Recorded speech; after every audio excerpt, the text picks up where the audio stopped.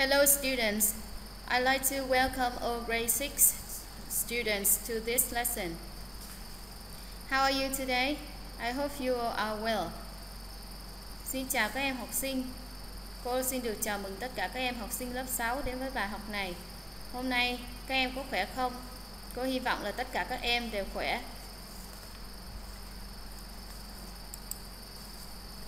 Today I'm going to teach you Unit 16, Man and the Environment, and our lesson is Section B, Pollution. Hôm nay cô sẽ dạy cho các em bài số 16, Con người và môi trường, và bài học của chúng ta là phần B, sự ô nhiễm. In this lesson, we're going to learn some vocabularies about the topic environment and know what we should and shouldn't do to protect our environment. Trong bài học hôm nay, chúng ta sẽ học các từ vựng về chủ đề môi trường và biết được chúng ta nên làm và không nên làm gì để bảo vệ môi trường của chúng ta. So let's start our lesson now. Và bây giờ chúng ta cùng bắt đầu bài học nhé.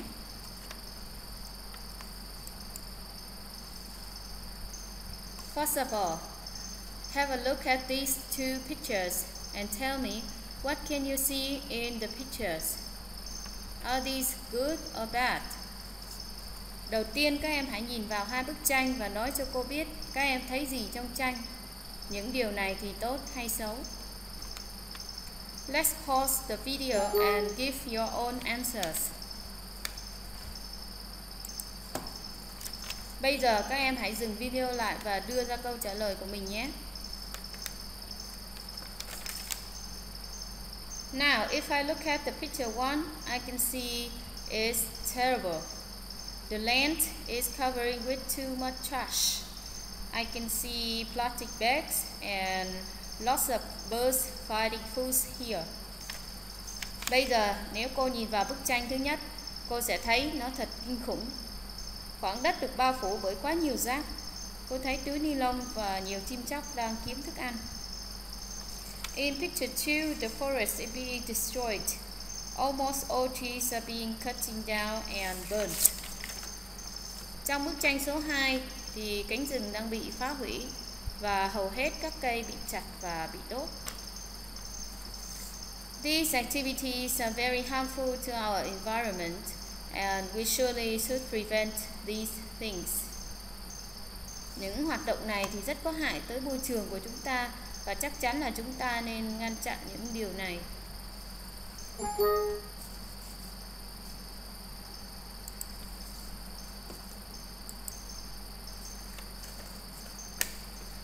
Before we move on part 1, let's learn some new words. Trước khi bắt đầu vào phần bài đọc thì chúng ta cùng nhau học các từ mới nhé.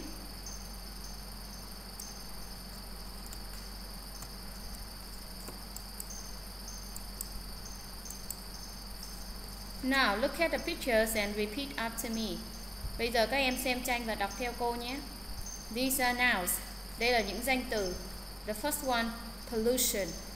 Từ đầu tiên, pollution là sự ô nhiễm. Let's say it with me. Pollution. Pollution. Very good, everyone. In the first photo, you can see lots of trash on the beach In the second photo, you can see lots of gases in the air. Trong bức tranh đầu tiên các em sẽ thấy có nhiều rác trên bãi biển và ở bức hình số 2 các em sẽ thấy nhiều khí thải ở trong không khí.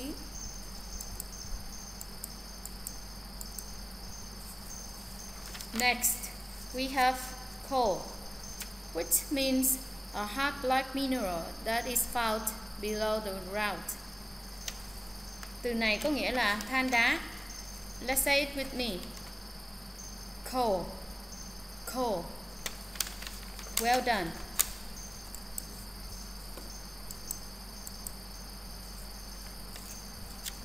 Then we have gas, which is a substance in a form like air that is neither liquid or solid.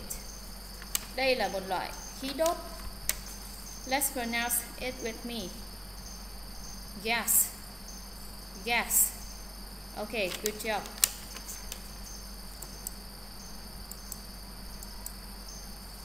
And we have trash, nghĩa là rác thải nhé các em. Now let's say it. Trash. Trash. Very good.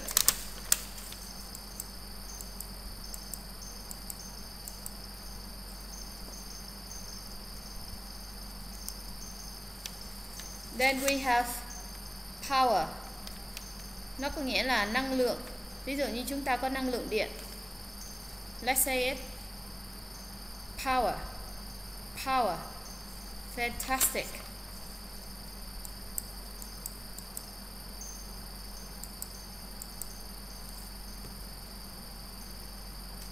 Now, ocean, which means the mass of salt water that covers most of the surface of the earth. Nó có nghĩa là đại dương. Let's pronounce it with long sh. Now let's say, ocean. Ocean. Good job.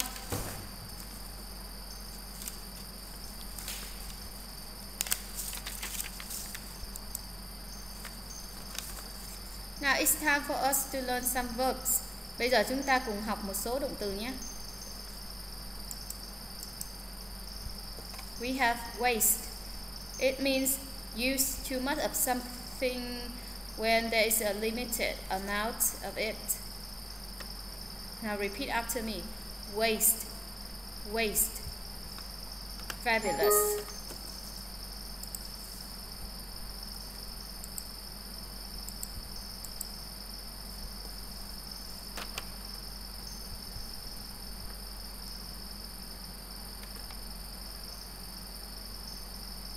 And now the verb destroy nghĩa là phá hoại hay là phá hủy. Say it aloud with me. Destroy. Destroy. Way to go. In picture 1, the forest is being destroyed. In picture 2, the house is being destroyed.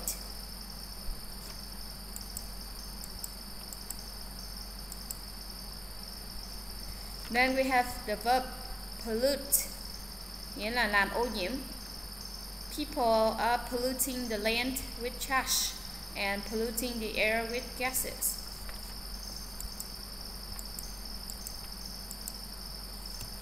Now the verb throw. Đó có nghĩa là quăng, ném hay là vứt. Pronounce it with me. Throw. Throw. The man is throwing the ball. The girl is throwing the trash in the trash can.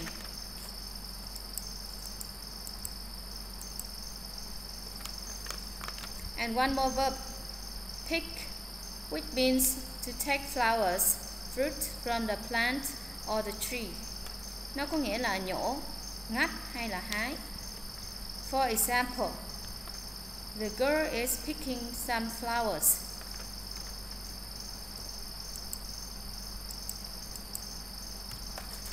We have the verb keep off, which means prevent somebody or something from coming near or touching somebody something. Từ này có nghĩa là tránh xa hoặc là tránh khỏi. For example, please keep off the grass. Ví dụ, vui lòng không dẫm lên cỏ.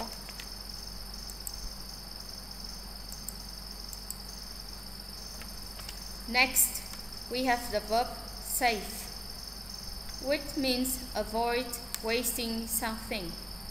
Nó có nghĩa là tiết kiệm. For example, we should save water. Chúng ta nên tiết kiệm nước.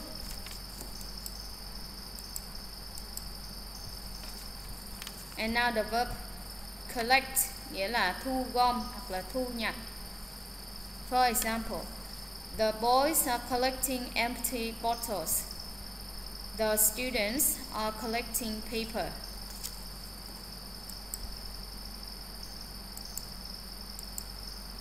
And now we have the verb damage, nghĩa là làm hư hay làm hỏng. For example, the storm damaged the trees yesterday.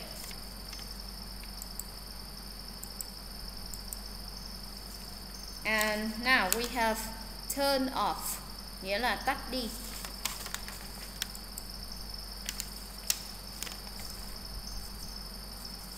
For example, please turn off lights when leaving. Now let's learn an adjective. We have wild, nghĩa là hoang dã, hoa dại. For example, these are white flowers. Đây là những bông hoa dại. Tigers are wild animals. Hổ là động vật hoang dã.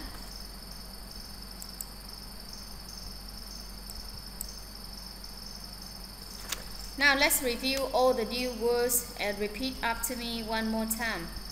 Then you write all these words in your notebooks and learn by heart. I encourage you to make sentences with each word and practice at home. Bây giờ các em hãy đọc từ mới với cô một lần nữa, sau đó chép từ mới này vào tập và học thuộc từ. Cô khuyến khích các em nên đặt câu với mỗi từ và thực hành ở nhà nhé. We have some nouns. Pollution. Từ này có nghĩa là sự ô nhiễm. Coal là than đá. Gas là khí thải. Trash là rác thải. Power, năng lượng. Ocean là đại dương. We have some verbs. Waste là lãng phí. Destroy, tàn phá pollute, làm ô nhiễm throw, ném, quăng, vứt pick hái hay là ngắt. Keep off. Tránh xa. Không dẫm lên. Save. Tiết kiệm. Collect. Thu gom. Damage. Làm hư, làm hỏng. Turn off. Tắt đi. And we have the adjective. Wild nghĩa là hoang dã hoặc là dại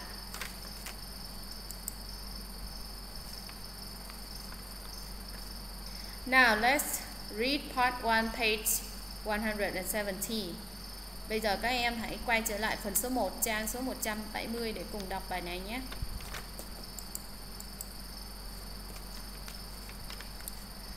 So now, let's read What are we doing to our environment? Chúng ta đang làm gì với môi trường của chúng ta? We are destroying the forest. Chúng ta đang phá hủy rừng. We are destroying wild animals and plants. Chúng ta đang tàn phá động thực vật hoang dã. We are wasting too much water. Chúng ta đang lãng phí quá nhiều nước. We are burning too much coal, oil and gas. Chúng ta đốt quá nhiều than đá, dầu mỏ và khí đốt. We are wasting too much power. Chúng ta đang lãng phí quá nhiều năng lượng. This is polluting the air with gases. Điều này làm ô nhiễm bầu không khí với những rác với những khí thải. We are producing too much trash. Chúng ta thải ra quá nhiều rác. This is polluting the land, the rivers and the oceans. Điều này làm ô nhiễm đất, những dòng sông và các đại dương.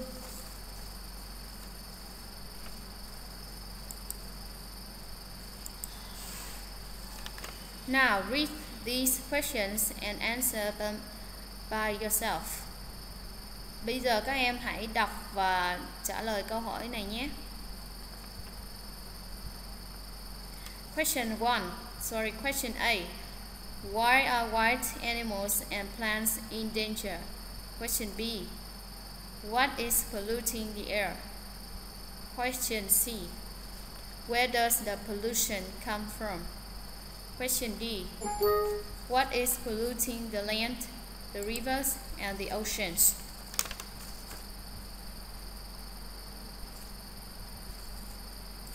Let's pause the video and do it by yourself. Các em hãy dừng video lại và tự làm nhé.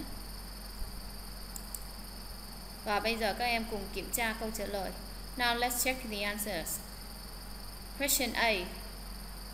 What are wild animals and plants in danger? Here is the answer. Because we are destroying the forest. Question B.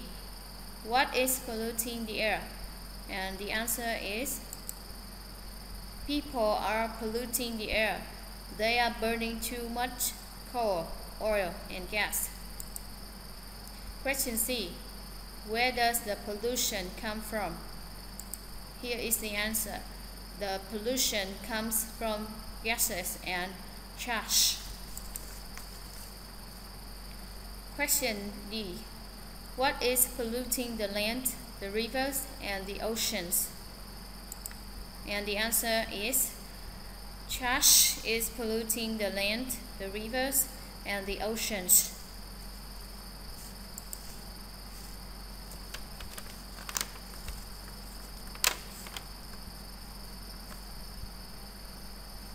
So we have finished the reading part 1.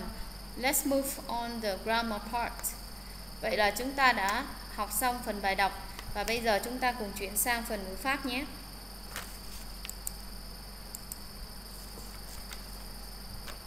Today we will learn the expression too much.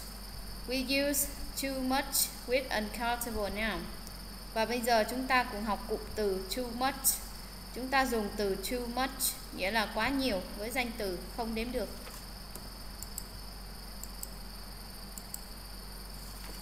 So now let's see some examples. Example number one. She spends too much money. Ở trong câu này từ money là danh từ không đếm được. Example number two. We are wasting too much water. Trong câu này thì từ water là danh từ, không đếm được.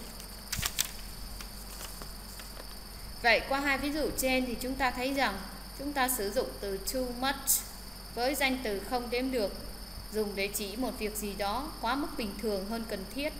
Nó mang ý nghĩa tiêu cực. Now, let's do, let's practice using too much. Bây giờ chúng ta hãy thực hành một số câu sử dụng từ too much.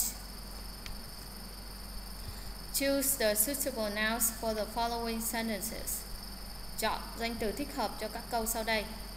We have traffic. Ở đây có nghĩa là xe cộ hay giao thông. People. Trash. Trash. Bikes and food. Let's look at the sentences and do it on your own. Các em hãy nhìn các câu này và tự làm nhé. And here are the answers. Và đây là câu trả lời. Number one. There is too much food on my plate. Number two. We are producing too much trash every day. Number three. My city has too much traffic during rush hour. And here we have some more sentences. Let's pause the video and do it by yourself. Bây giờ chúng ta có thêm một số câu nữa. Các em hãy dừng video lại và tự làm nhé. Now, let's check your answers. Bây giờ chúng ta cùng kiểm tra đáp án. Number 4. We are burning too much coal, oil and gas. Number 5. There is too much water on the floor. Number 6. They are wasting too much power. Number 7. There is too much noise in the classroom. Number 8. My country often has too much rain in the rainy season. Okay, everyone, you did an excellent job.